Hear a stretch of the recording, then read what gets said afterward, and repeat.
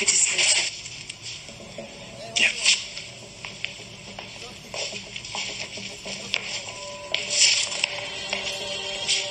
you.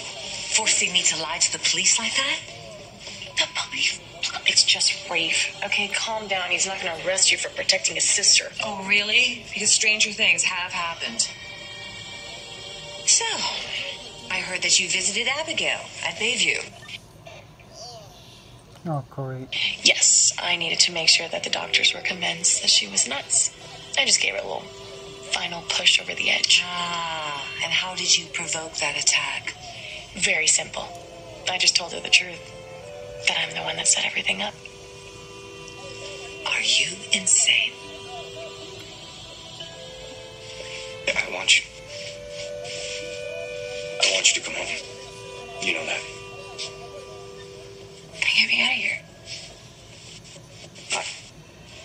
I, can't. The last time I saw you, you had Gabby up against the wall. You were trying to strangle her. Because she admitted that she set me up. She told she told me that she wanted revenge. She told me that. She told me that she wanted everyone to think that I was crazy so that she would ruin my life the way that I have ruined hers. Why would she admit that? Because she wants everybody to think that I'm crazy. She knows that nobody will believe me. She knows that. She, she you play right into her hands. You said that she had the weight on her. She did.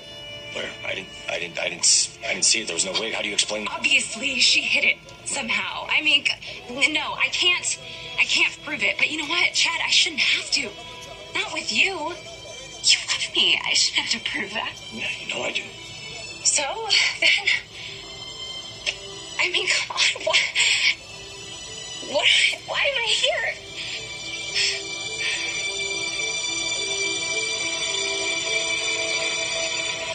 to admit it, but everything that Leo said about Kate is ringing true. Leo shows up here, desperate for me to marry him. If he's telling the truth, that means Kate nearly ruined my life. Nearly ruined Titan. And you know what? She would have done it. She would have done it if Chad hadn't become CEO.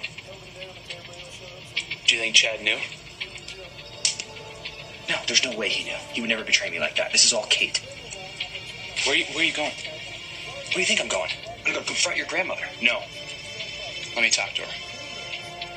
If she did this to you, she'll answer to me.